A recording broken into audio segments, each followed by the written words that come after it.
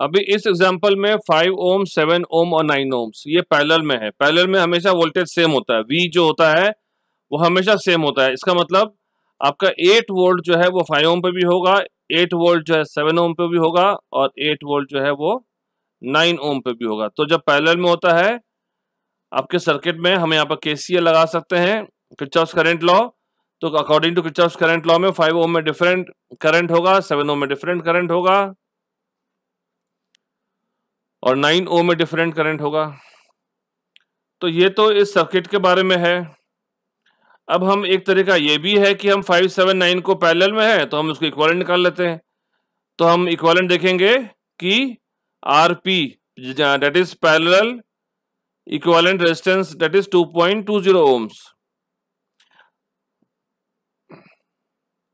voltage 8 volt है resistance 2.20 है तो करंट जो होगा वो 3.64 एम्पियर होगा।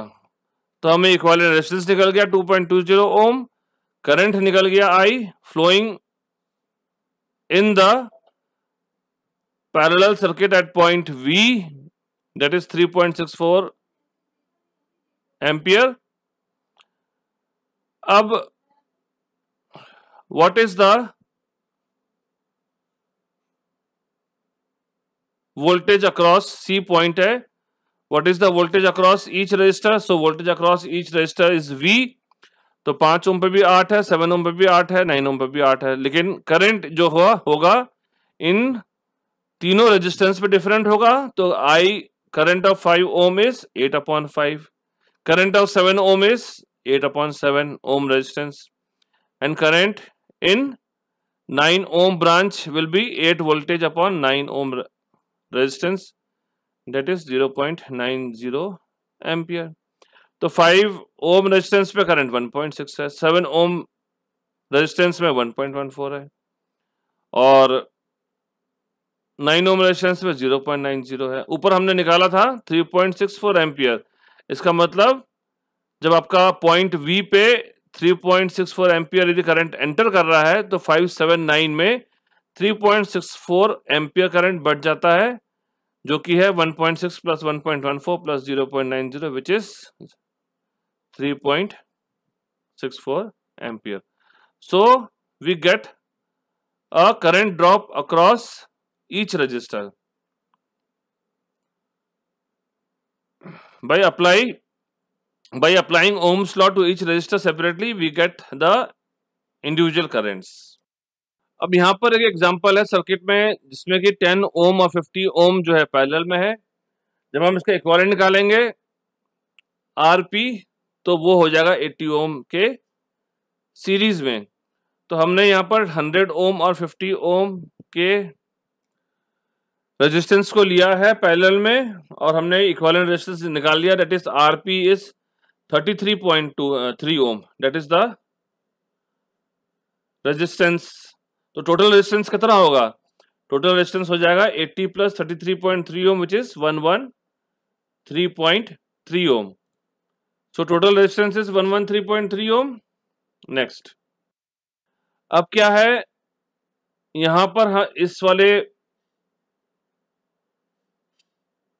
पीपीटी पे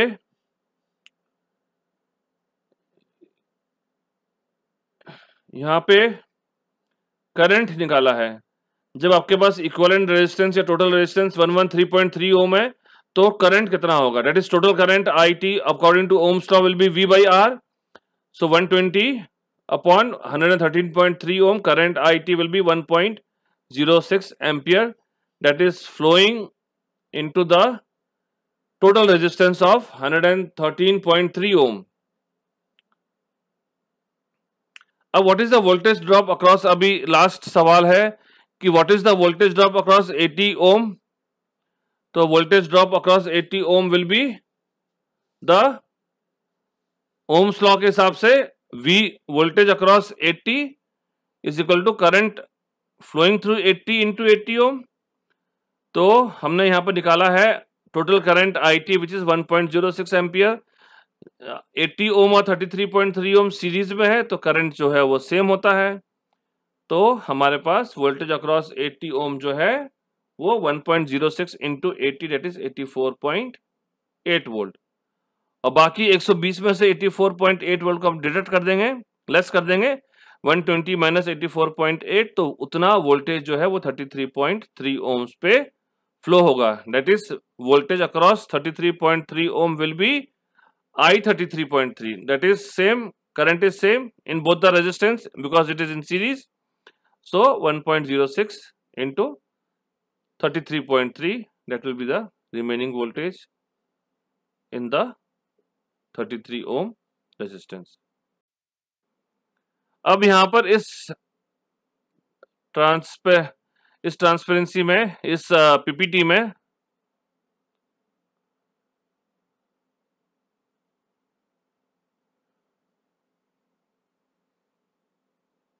Total resistance is 113.3 ohm.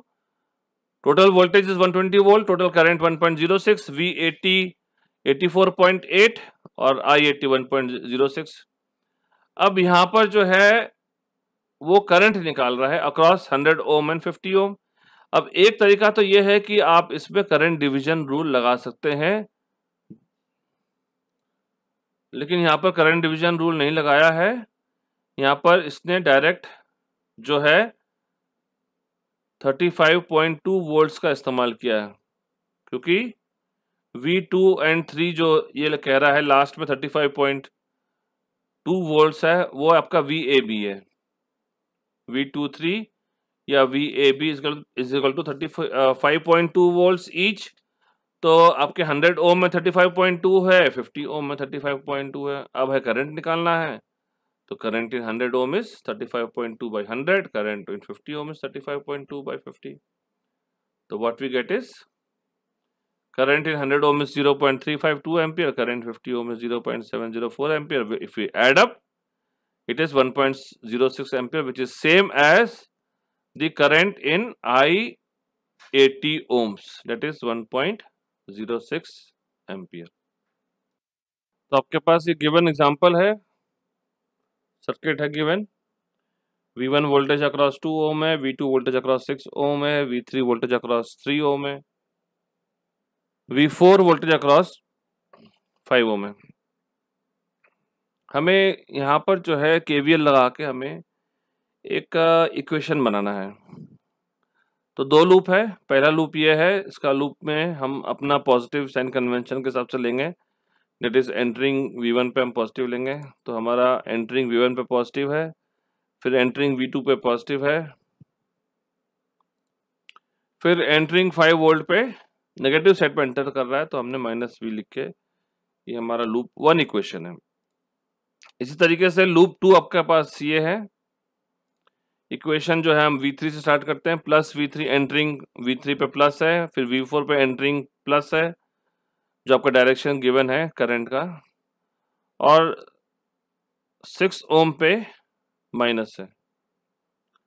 So it is minus V two next आपके पास एक बड़ा लूप है लूप थ्री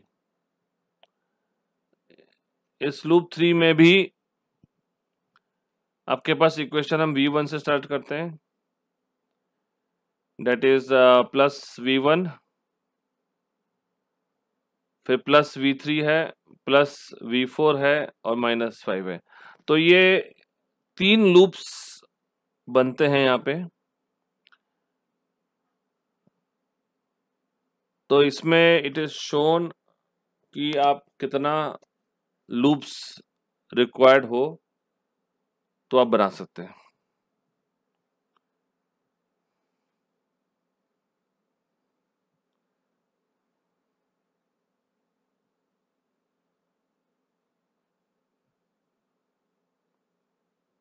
लेकिन हमारे पास क्या है? Two KVL equation are valid that is V one plus V two minus five equal to zero loop two में V three plus V four minus V two equal to zero हमारे पास इन दो equation से हमारा काम बन जाता है। लूप थ्री की हमें ज़रूरत नहीं पड़ती है और हम अपना mesh currents I one and I two for loop one and loop two respectively हम निकाल सकते हैं।